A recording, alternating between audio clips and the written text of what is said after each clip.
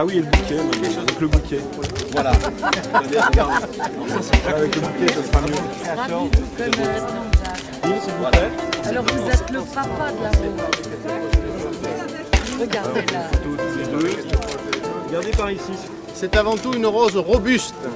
Quand on prend son arbre généalogique, on tombe sur pratiquement toutes les meilleures roses meilleures.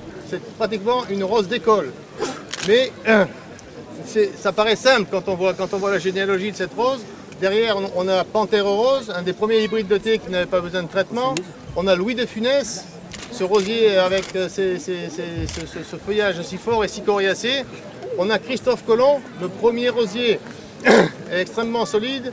Et tout ça a été renforcé par euh, du sang qui venait du nord de l'Europe, euh, donc des, rosiers très robustes, et également du, sang qui venait d'Angleterre. Donc si on, parlait de, de chevaux, c'est une lignée exceptionnelle. Ce qu'il faut savoir, c'est que pour arriver à travers toutes ces années, pour arriver à créer une telle merveille de la nature, et merci beaucoup Mère Nature de nous avoir permis de révéler cette beauté cachée euh, grâce au, travail des sélectionneurs, il a fallu malheureusement faire un véritable hécatombe et détruire peut-être 50 000 petits frères et sœurs ou cousins cousines. Donc c'est un, travail, euh, c'est le côté, obscur, c'est le côté obscur du, travail de, de sélec- de sélectionneur. C'est donc une rose très robuste par son origine. C'est une rose également très énergique parce qu'elle a passé tous les tests depuis ces années-là au maximum, au maximum des notations. Euh, elle a passé 5 ans dans notre champ de sélection au nord de l'Allemagne, au nord de Hambourg, sans le moindre traitement chimique.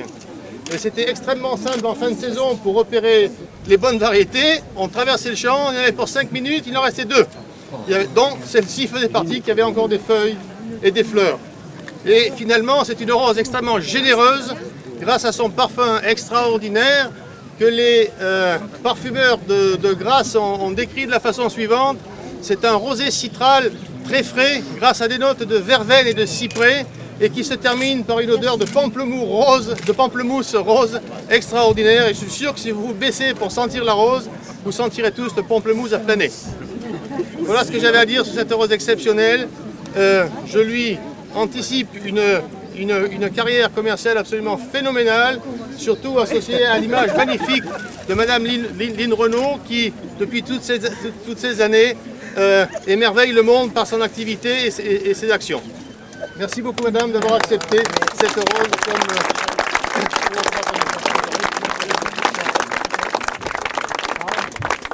Écoutez, je vais par- parler fort parce qu'il n'y a pas de micro, vous m'entendez bien? Oui.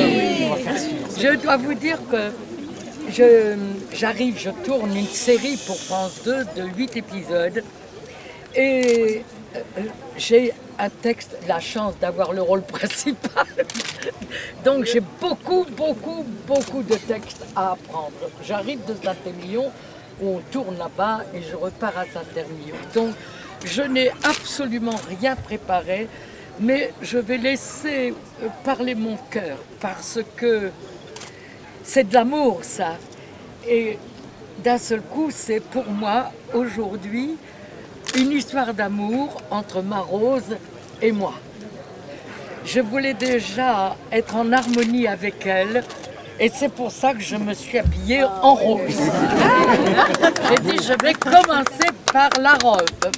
Et voilà. Et maintenant, je suis très heureuse de ça. Ça me touche. La, rose a toujours été ma fleur préférée. Ah, tout de suite après, c'est l'orchidée, mais la rose, j'en ai des, beaucoup, beaucoup dans mon jardin.